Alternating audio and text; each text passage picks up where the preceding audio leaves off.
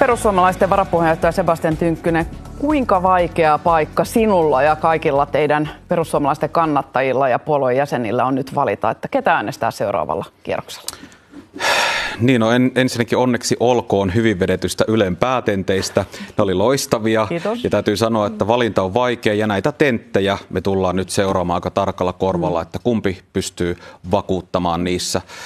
En tässä vaiheessa vielä pysty yhtään sanomaan, että kumman puolen menee ääni. Minkälainen se tunnelma siellä on kannattaja keskuudessa? Onko se hämmentynyt, ahdistunut, odottava?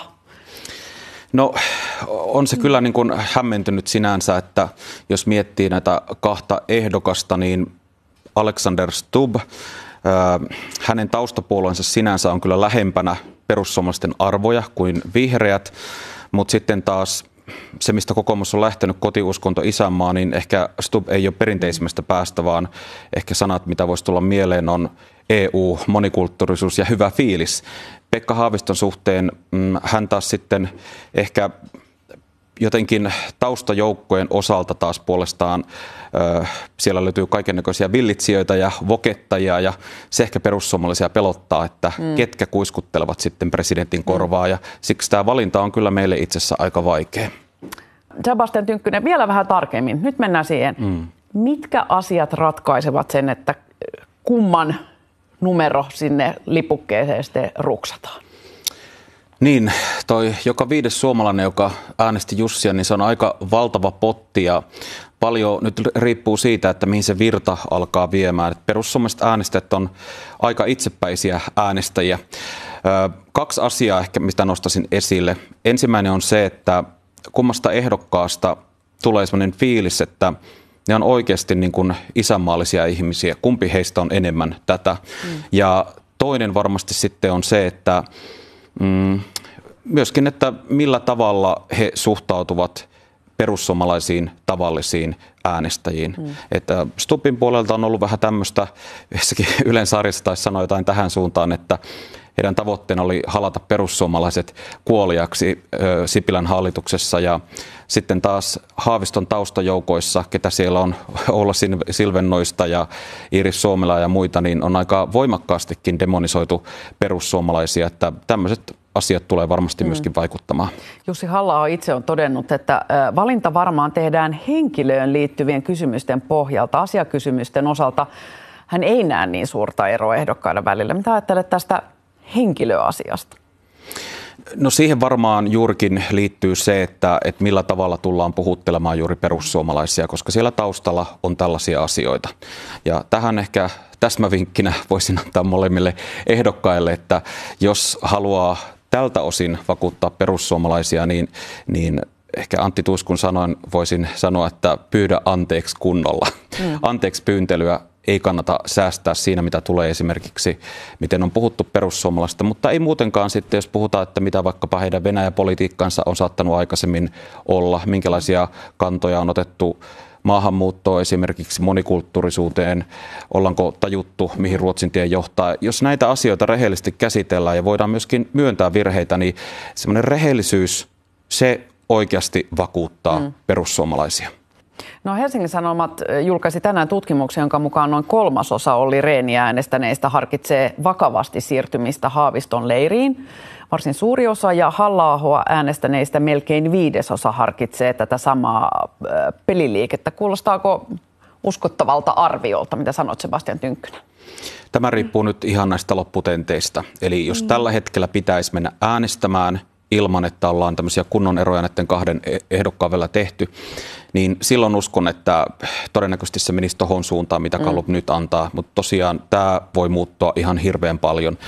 Pekka Haaviston suhteen, mitä perussuomalaiset arvostaa, niin on se, että hän vaikuttaa vakaalta kuin Reen. Hän on hyvin tämmöinen jotenkin harkitseva, miten hän puhuu ääneen ja, ja presidentiltä tätä ominaisuutta tarvitaan. Ja sitten taas Alexander Stubb, niin, niin se hänen taustayhteisönsä, mm. ketä hän kuuntelee, on ne arvot on lähempänä perussuomalaisia, että mm. tämä voi kääntyä kumpaan suuntaan tahansa meidän osalta. Vielä en osaa itse sanoa, mutta sitten jos toinen ehdokkaasta pystyy selkeästi vakuuttamaan, että hän olisi Suomelle parempi presidentti, niin totta kai tuu myöskin sen sitten itse kertomaan ääneen. Mm. Mutta joka tapauksessa kumpi tahansa näistä kahdesta valitaan, niin uskon kyllä, että tulevat selviä, selviämään mm. presidenttinä hyvin. Mm. Mutta tässä nyt äänestäjillä on tarkan markan paikka, mm. että kun kotimaa, isämaa on rakas, niin nyt kannattaa oikeasti kiinnittää huomiota, että me saadaan se paras ulkopolitiikan mm. johtaja Suomelle. No, useat hävinneiden ehdokkaiden kannattajat ovat kuitenkin julkisesti jopa kertoneet sitten, että, että kumman leiriin lähtevät. Esimerkiksi Vasemmistoliiton kansanedustaja Merja Kyllönen asuttui ehkä monelle aika yllättäenkin tukemaan Stubia ja tänään uutisoitiin, että keskustan Juha Sipilä lähti myös Stubin leiriin. Mitä mieltä olette siitä, että julkisesti kannatetaan, jos ollaan toista puoluetta, niin julkisesti sitten kannatetaan toista puoluetta? Vaikuttaako se vaikka siihen omaan uskottavuuteen jatkossa vai onko sillä merkitystä? No itse en näe mm. siinä kyllä yhtään mitään väärää. Että se, että poliitikko, joka ehkä pystyy vielä hieman tarkemmalla korvalla kuuntelemaan, että mitä ne nyanssit poliitikon puheessa on, niin voi aivan hyvin kertoa, että millä perusteella itse on päätynyt äänestämään mm. jotain ehdokasta. Kaikkihan me kuitenkin lopulta halutaan, että se paras tulee valituksi.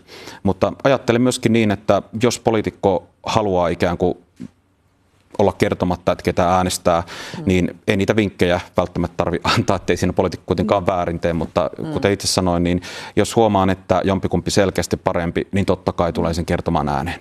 Mm. Mm. Tosiaan olette sanoneet, että, että vielä pitää pohtia, tenttejä pitää katsoa. Mikä on se yksi asia, minkä haluaisitte, se yksi kysymys, minkä haluaisitte kuulla ja siihen vastauksen tentissä? No varmasti Alexander Stubin kohdalla tämä EU-suhde kiinnostaa hirveästi, miten hän puhuu EUsta. Mulle tärkeää on kuulla, että Suomen etu tulee aidosti niin kuin ensin. Ja myöskin Pekka Haaviston kohdalla sama asia, että vaalikoneessahan hän oli vastannut niin, että Suomen etu, hän on eri mieltä siitä, että se tulisi ensin. Mm. Ja mä haluan todella kuulla, että kun hänet on kuitenkin Suomen presidentiksi oltaisiin tässä valitsemassa, niin minkä takia se ei voisi tulla Suomen etu ensin? Mm. Et pitää mm. pystyä tällä akselilla erityisesti vakuuttamaan. Mm. Valinta voi olla varmasti vaikea, mutta lyhyesti tähän loppuun vielä. Helsingin Sanomien kyselyn mukaan keskustalaisista vain 61 prosenttia aikoo äänestää varmasti, perussuomalaisista 70 prosenttia. Mitä sanotte niille, jotka ovat jo päättäneet, että minä en mene äänestämään tai ainakin mm. harkitsevat, että eivät mene? Kaikissa maissa ei ole mahdollisuutta mm. käyttää sitä omaa ääntään.